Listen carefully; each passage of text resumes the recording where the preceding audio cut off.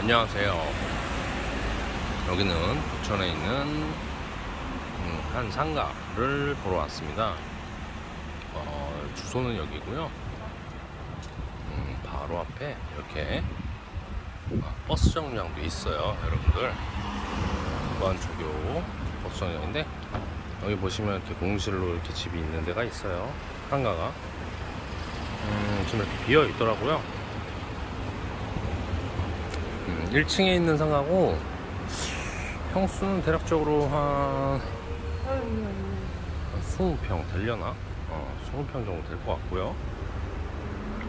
우리가 들어가 볼 수는 없어서 뭘 알 수는 없는데 음, 아는 분이 어, 이 상가를 가지고 계신다고 하는데 계속 분양이 안 돼서 아 분양이래 임차가 안 나가고 있어서 걱정이 되신다고 해서 혹시나 홍보해 줄 수 있냐라고 요청해서 이렇게 찾아왔고요.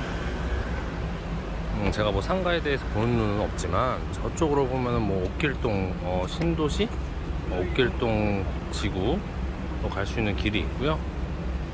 이 동네는 별로 보통 빌라촌이에요. 다 이렇게 빌라들로 다 구성되어 있어요. 이렇게 버스도 다니고 그리고 이 아래로 내려가면은 역곡 남부역으로 가는 길이에요. 여기는 역곡 남부역. 어. 그래서 이 주변에는 상권이 뭐 나쁘지는 않은 것 같아요. 보면은 뭐 이렇게 아이스크림 가게도 있고 저 아래 보니까 아까 족발집도 있더라고요. 그리고 이 아래로는 좀 상권이 없긴 하죠. 음, 여기에 뭐 위로 보면은 학원 뭐 어, 영어 전문 학원 이렇게 있고요.